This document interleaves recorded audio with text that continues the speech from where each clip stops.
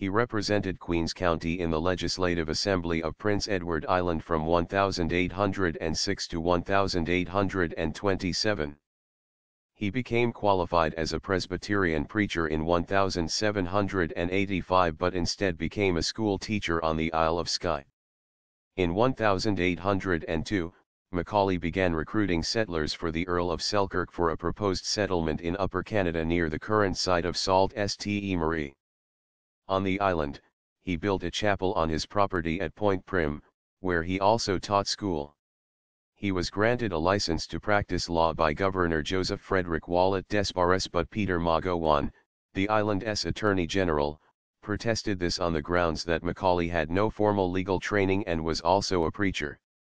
In 1809, he joined the Loyal Electors, a group critical of the island's ruling elite, particularly Lord Selkirk.